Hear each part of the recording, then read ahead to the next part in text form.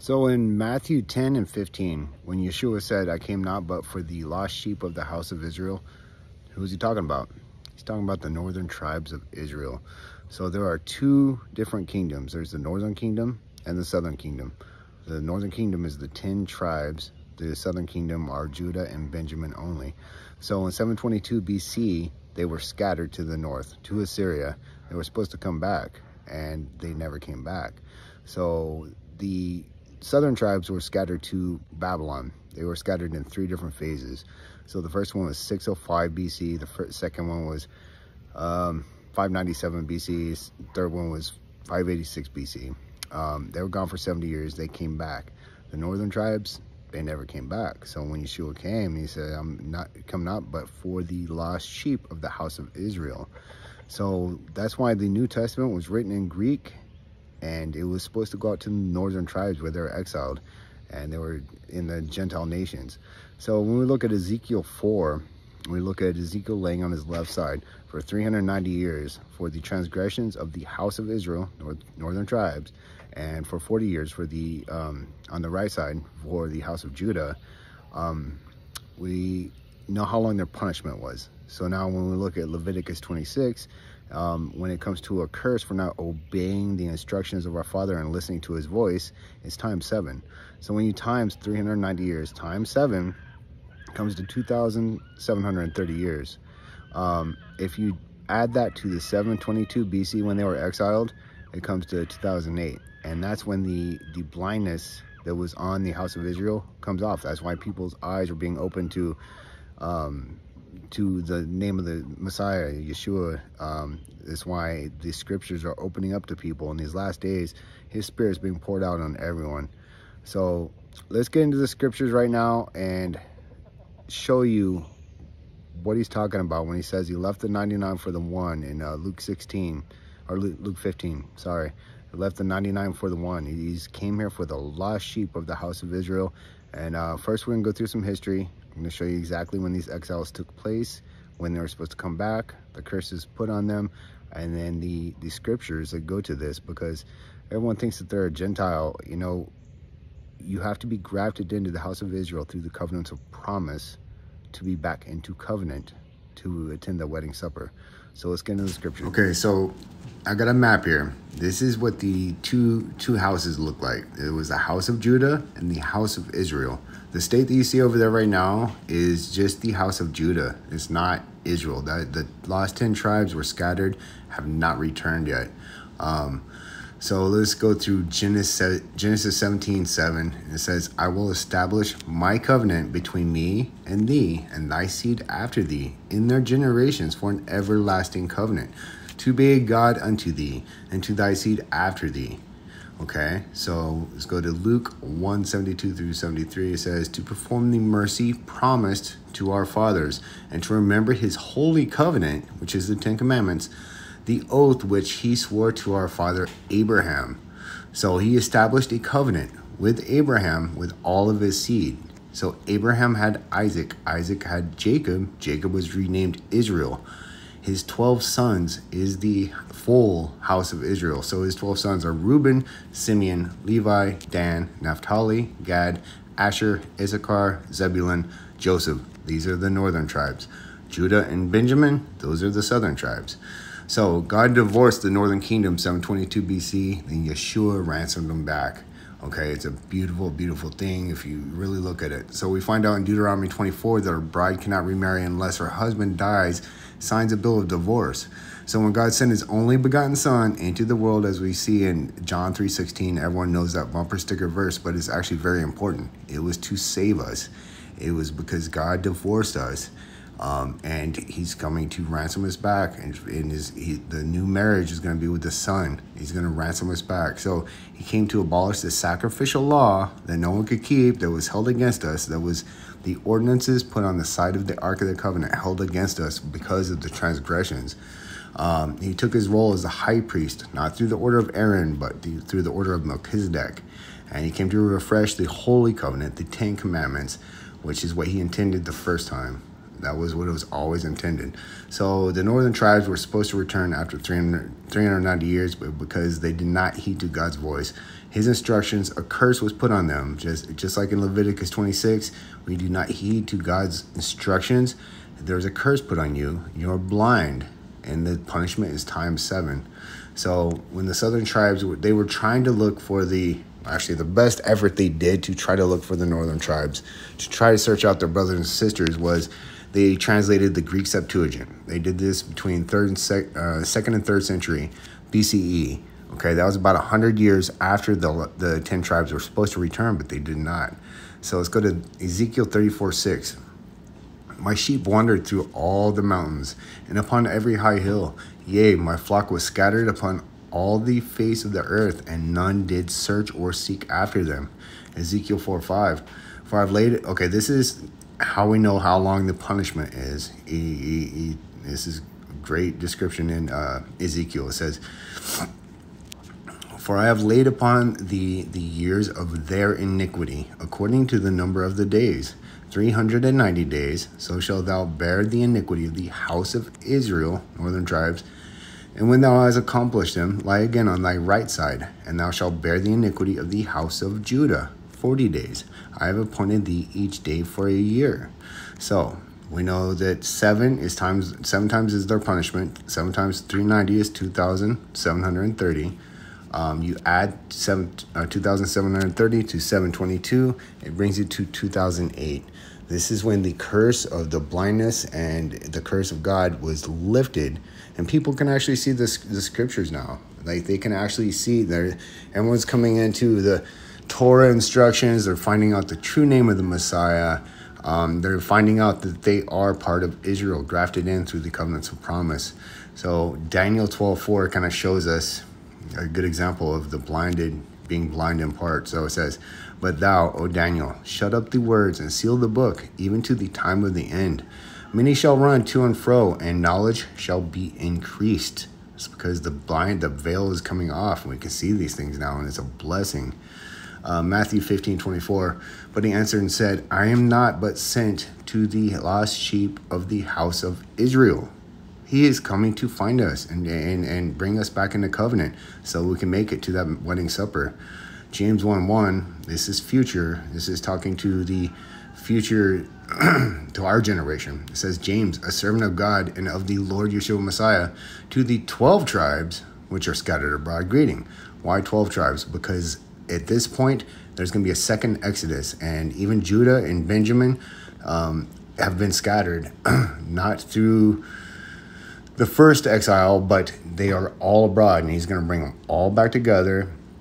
There's going to be 12,000 from each tribe. They're going to be 144,000. And then there's going to be a second exodus so great, the first one won't even be spoken of. So let's go to Luke 15, 4 through 7.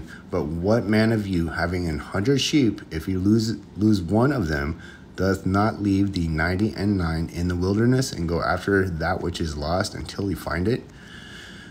And when he found it, he layeth it on his shoulders, rejoicing. And when he cometh home, he calleth together his friends and neighbors, saying unto them, Rejoice with me, for I have found my sheep, which was lost. I say unto you that likewise joy shall be in heaven over one sinner that repenteth, more than over ninety-nine and ninety and nine just persons which need no repentance.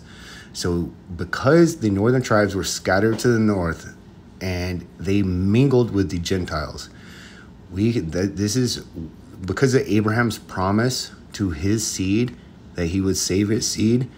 now the Gentiles are allowed to be grafted in through these covenants of promise. It really is a beautiful story. So when we look at okay, Paul wrote seven letters to the churches: Rome, Corinth, Galatia, Ephesus, Philippi, Colossae, and Thessalonica. Um, these are actually different than what is in Revelations that John wrote down. Is he wrote Ephesus, Smyrna, Pergamum, Thyatira, Sardis, Philadelphia, and Laodicea. He wrote it like this because this is to a future generation. This is speaking to the northern tribes. All of these churches are in Turkey. This is where the northern tribes were scattered. The, the, the book of Revelation was, was written to the servants that are going to do the work in these last days to wake up the lost sheep of the house of Israel. So let's take a look at this map here. So the red lines are where the northern tribes were scattered. This is to the north, the Turkey region, all throughout Assyria, um, Nineveh, and then the bottom blue lines is where the southern tribes, Judah and Benjamin, were exiled. These are two different events. Actually, it's four different events because it, there was three different exiles of the southern tribes to Babylon. So, 931 BC, there was division from Israel and Judah, the two houses, okay? 722 BC, northern tribe was defeated by Assyria. God had his hand in every bit of that because of their backsliding. Brought them to Assyria and they were they were exiled. So the three exiles of the southern tribes, it was three different portions, three different times. 605 BC was the first siege by Babylon. 597 was the main bulk of it, and this was the siege. Um, you can find it in King, 2 Kings 24. Um, and then 586 BC, the third and final siege, and um, this you can find that in 2 Kings 25. So, why they got scattered? I'll tell you right now, it was for worshiping false, doing idolatry, making Asherah poles, which is a Christmas tree. This is the same thing that people, Americans, are doing now. Um, we're gonna go through Jeremiah 10 in a second. We're gonna find out exactly why, but they were they were they were they were doing the pagan ways of the the the Gentiles. They were they're worshiping false gods, false idolatry, and is leaving God's commandments, His instructions, His statutes, and His judgments. So uh, let's see. Let's just go to, straight to Jeremiah 10 here. Uh, Hear ye the word of the Lord speaketh unto you, O house of Israel. Thus saith the Lord Learn not the way of the heathen, and be not dismayed at the signs of heaven. For the heathen are dismayed at them. For the customs of the people are vain, and one cutteth a tree out of the forest with the work of hands of the workmen with the axe. They deck it with tinsel or silver and gold. They fasten it with nails and hammers, and it move not. They are upright as the palm tree, but speaketh not. They must needs be born, because they cannot go. I be not afraid of them, for they cannot do evil, neither also is it in them to do good. Does that not sound like a Christmas tree to you? Because it sure does to me. This is a pagan custom that was has been brought over. America's pushed it to the four corners of the earth when it was actually banned in America until 1836. It was literally banned because they knew it was a pagan custom, and um, we just brought it back. You know, the tree equals vain worship, vain glory. Deuteronomy 32, 26. I said, I would scatter them to the corners. I would make the remembrance of them to cease from among men. Let's go to Jeremiah 3, 6. The Lord said also unto me in the days of Josiah the king, Hast thou seen that which backsliding Israel hath done? She has gone up upon every high mountain and under every green tree, and there hath played the harlot. Asherah pole. They're making Christmas trees. Um, so let's go through God, the instructions for giving a bill of divorce whenever they're through God's instructions in Deuteronomy 24. So it says, When a man hath taken a wife and married her, and it becomes and it comes to pass she find no favor in his eyes because he hath found some uncleanness in her then let him write her a bill of divorcement and give it to her hand and send her out of this house and when she is departed out of his house she may go and go and be another man's wife and it shall be and if the latter husband hate her and write her a bill of divorcement and give it giveth it in her hand and sendeth her out of his house, or if the latter husband die, which took her to be his wife, her former husband, which sent her away, um, may take, sorry, may not take her again to be his wife. After that, she is defiled, for there that is an abomination before the Lord. And thou shalt not cause the land to sin, which the Lord thy God giveth thee for an inheritance.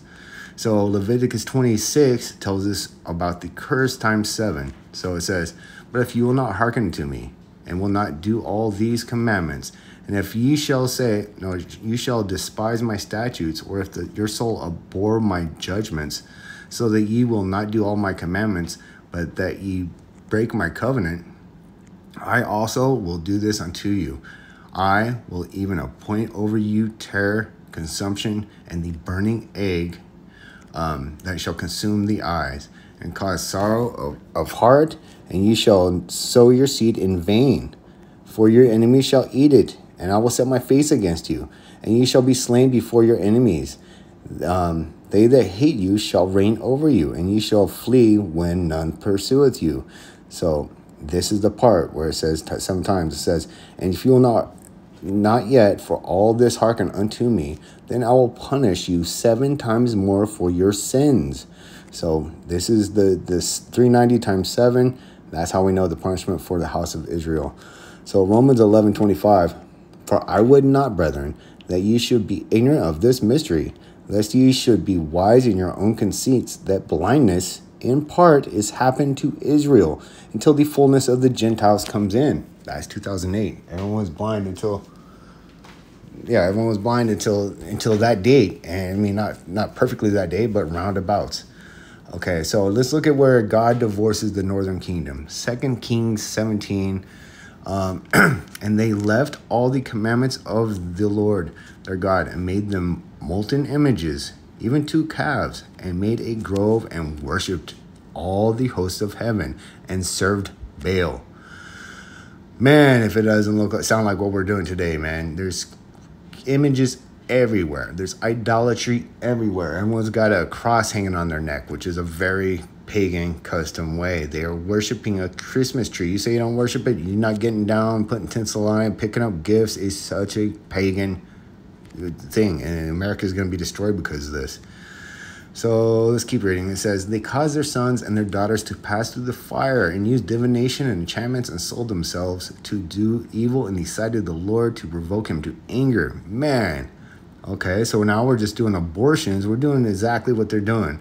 You say it's not to uh, a pagan god, but the people that are running this abortion system, Um, trust me when I say that they're not worshiping the father of Abraham, Isaac, and Jacob.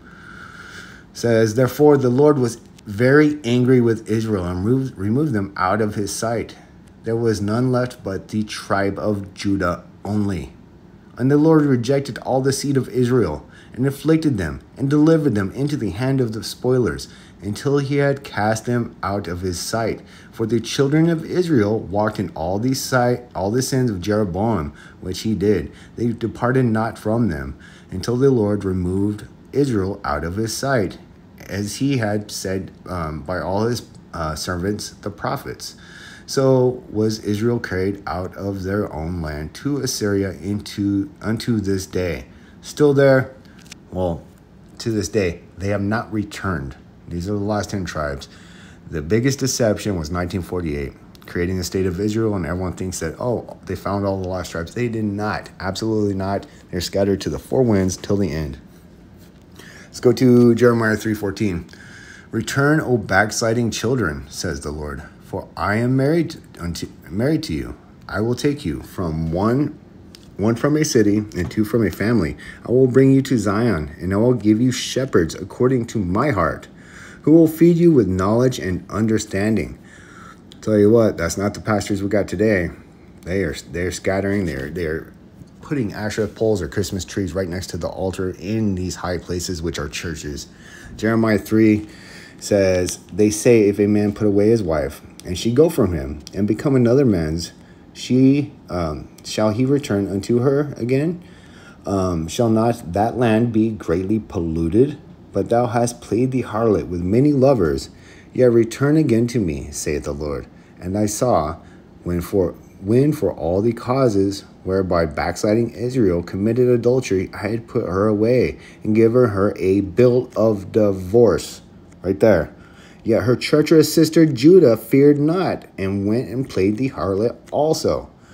So, this is where the bill of divorce was, was given. And then Judah and Benjamin were doing the same things. The northern tribes were bringing these pagan customs into the land, into the Holy Land.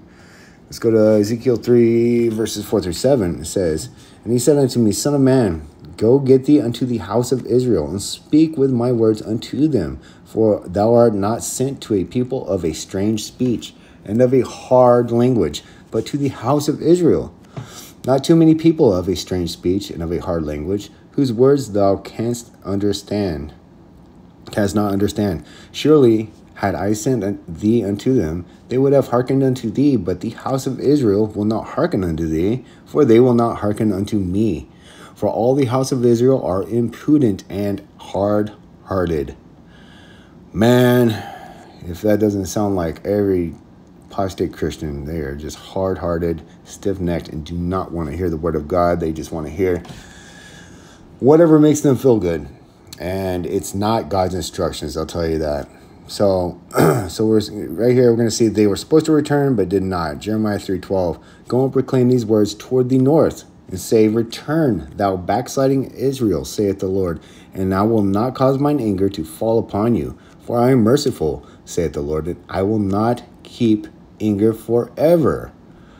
Isaiah 54, 5 through 8. For thy Maker is thine husband, the Lord of hosts is his name, and thy Redeemer, the Holy One of Israel, the God of the whole earth, shall be called. For the Lord hath called thee as a woman forsaken and grieved in spirit, and a wife of youth. When thou was refused, saith to God, For a small moment, for I, I have forsaken thee, but with, a, with great mercies will I gather thee. In a little wrath I hid my face from thee eh, for a moment, but with everlasting kindness will I have mercy on thee, saith the Lord thy Redeemer. Ezekiel 4 4 through 6. Uh, I already did that. Okay, so let's go to Romans 7. Oh, yeah, okay, it's a good one. It says, For the woman which hath which hath an husband is bound by the law to her husband, so as long as she as he liveth. But if the husband be dead, she is loosed from the law of her husband. So then if, while her husband liveth, she is she be married to another man, she shall be called an adulteress. But if her husband be dead, she is free from that law, so that she is no adulteress.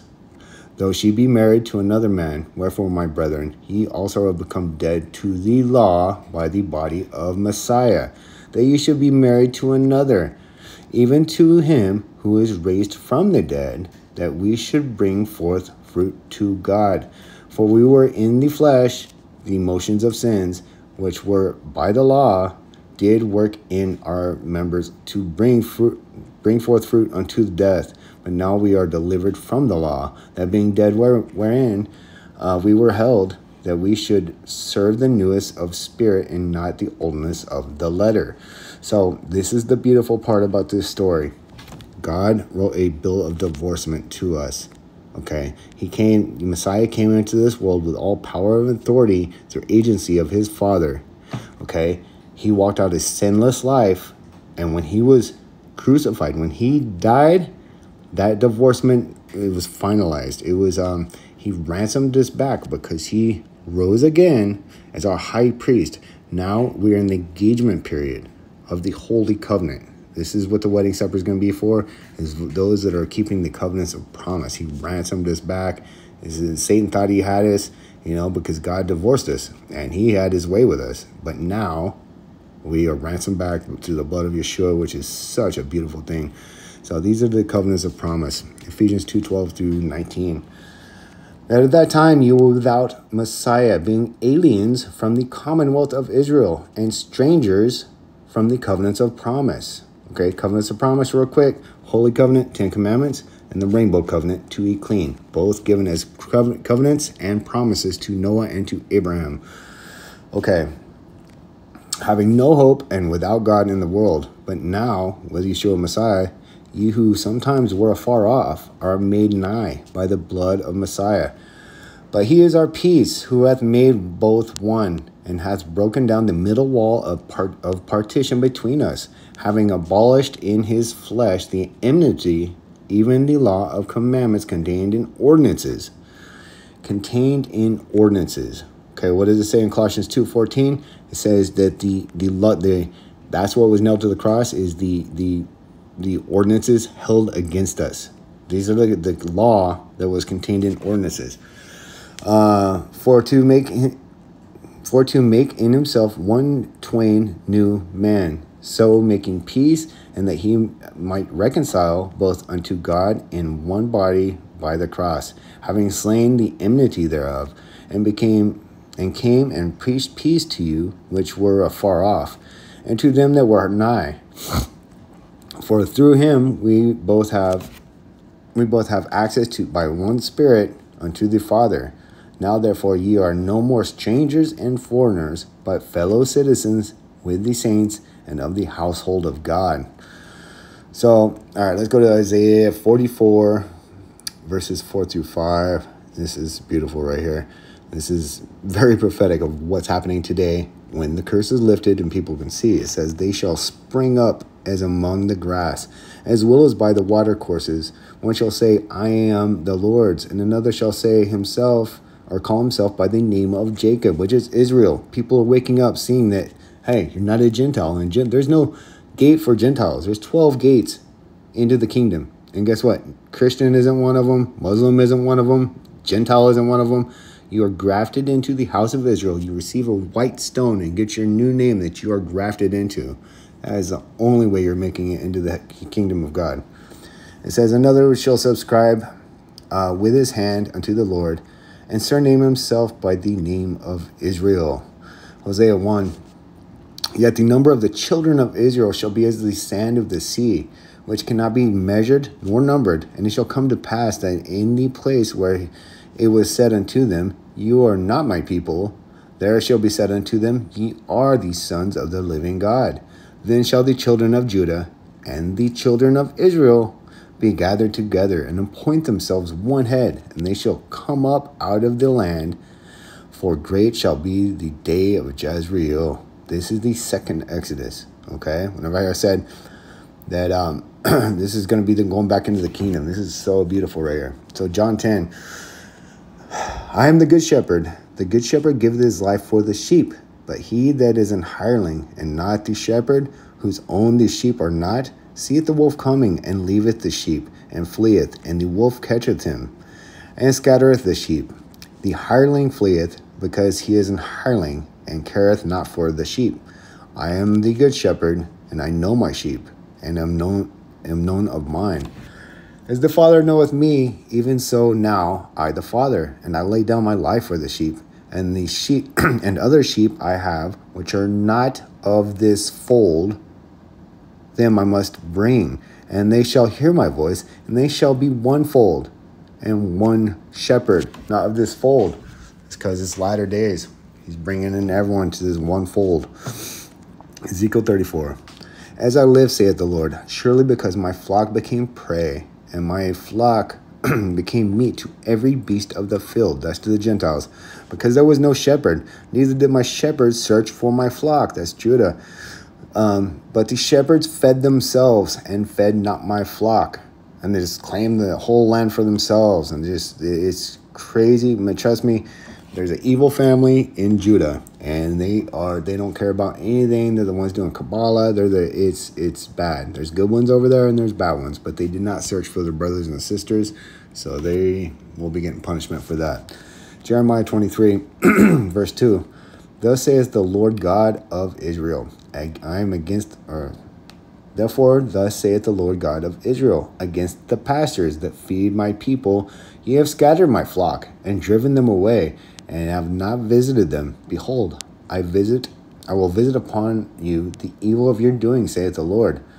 Let's go to Romans 11, 25 through 28.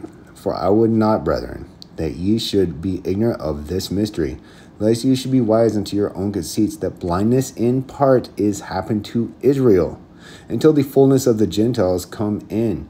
And, and so also Israel shall be saved.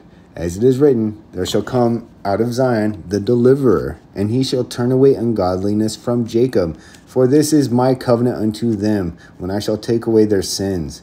As concerning the gospel, they are enemies for your sakes. But as touching the election, the elect, they are beloved for the Father's sakes. That is so beautiful. I love that. So Ezekiel 34 says, My sheep will wander through all the mountains upon every high hill. Yea, my flock was scattered upon the face of the earth, and none did search or seek after them. Jeremiah 31, 31 to 34. Behold, the days come, saith the Lord, that I will make a new covenant. This is the new covenant talk. This is everyone thinks we're in the new covenant. Nope. This is I'm gonna go through right here. We are in the refreshing of the Holy Covenant. Yeshua came to nail the ordinances held against us, which is a sacrificial law, Everything given is Sinai, and no, he's he's refreshing the holy covenant. So the word fresh, and um, in the New Testament in the Greek, uh, I forget what it is, but it basically means refreshing. It means fresh. He's refreshing the covenant. We're in the engagement period. So, behold, the days come, saith the Lord, that will make a new covenant with the house of Israel and with the house of Judah. Okay, this new covenant is only with the house of Israel and house of Judah. So, saying you're a Gentile, you don't get in. Not according to the covenant that I made with their fathers in the day that I took them by the hand to bring them out of the land of Egypt, which my covenant they broke, although I was a husband unto them, saith the Lord. But this shall be the covenant that I will make with the house of Israel. After those days, saith the Lord, I will put my law in their inward parts and write it in their hearts. Wait a minute. So we can still sin right now, right? We can still transgress. I'm pretty sure that there's sin all over the world. So this is one of the uh, the the things that that's going to be in the new covenant. So we're definitely not in. But let's see what else there is. It says, "And I will be their God, and they shall be my people, and they shall teach no more every uh, every man his neighbor, and every man his neighbor or his brother, saying, Know the Lord, where they shall all know me. Wait a minute. I have to teach this daily. I am battling people on who trying to help them find God. But if that is not what's going on right now, we're not in the new covenant, we're in the refreshing. Um, from the least of them to the greatest of them, saith the Lord, I will forgive their iniquity, and I will remember their sin no more. Can't wait for that day. John 10, 27, 28 says, My sheep hear my voice, and I know them, and they follow me. And I give unto them eternal life, and they shall never perish. Neither shall any man pluck them out of my hand. Uh, verse 16 it says, And other sheep I have, which are, I already read that. Ezekiel 37. So this is where the two sticks are brought back together. This is where the two the two houses are brought back together. It says, Moreover, thou son of man, take thee one stick and write upon it for Judah and for the house of Israel his companions, and take another stick and write upon it for Joseph, the stick of Ephraim, and it should and for all the house of Israel his companions, and join them one to another into one stick, and they shall become one in thine hand. This is when he's bringing them back together. This is this is after the second Exodus, is bringing all the tribes back together. That has not happened yet. Jeremiah 3 says, In those days the house of Judah shall walk with the house of Israel, and they shall come together out of the land of the north to the, to the land that I have given for an inheritance unto their fathers. The second Exodus, they're coming from the north. Both houses, okay? Judah's outside too. I mean, there's parts of them still over there, but there's a lot of evil family over there too. Jeremiah 23, verse 3 And I will gather the remnant of my flock out of the countries whither I have driven them, and I will bring them again to their folds, and they shall be fruitful and increase. Revelation 21, 12 through 13, it says, And had a wall uh, great and high, and had 12 gates. This is showing that there's 12 gates to the New, New Jerusalem it says, And the gates, 12 angels, and names written thereon, which are the names of the 12 tribes of the children of Israel. And on the east, three gates, and on the north, three gates, and on the south, three gates, and on the west, three gates. I didn't see I didn't see any Gentile gate, did you? Definitely not. So when you follow the Lamb wherever he goes, you take heed to his his his warnings. If you keep his commandments, John 14, 15 says, If you love me, keep my commandments. And I will pray the Father will, will give you another comforter, even the Holy Spirit of truth. Okay? All throughout the scriptures, keep my commandments. It's simple, it's not grievous. And if you do this, you get to go to the Revelation 19 supper. It says, And he that and he saith unto me, Write, blessed are they which are called unto the marriage supper of the Lamb. And he saith unto me, These are the true sayings of God. So, in closing, anyone calling themselves a Gentile, anyone saying that the commandments of God do not pertain to you, I this is a warning to you. You are you have to be grafted in, or else you will perish. We are in the end times right now, and following these pastors that are telling you everything was nailed to the cross or you're saved by grace, which grace doesn't mean unmerited favor. Grace is divine influence on the heart. It's conviction to obey. It's a free gift, lest any man should boast, because it's a gift from God. He gave you this, it's His Spirit. Okay? And when you obey His commands, as John 14 says, then He will give you the second comforter, the Spirit of truth, which is, teaches you all righteousness and brings remembrance to everything He said. So please take heed to this message because there's destruction coming on this country and it's going to be bad. Uh, and, I, and if you love God, you love your children, you know, love your family, you will keep his covenants of promise. Eat clean. Leviticus 11. keep the Ten Commandments. Love you guys.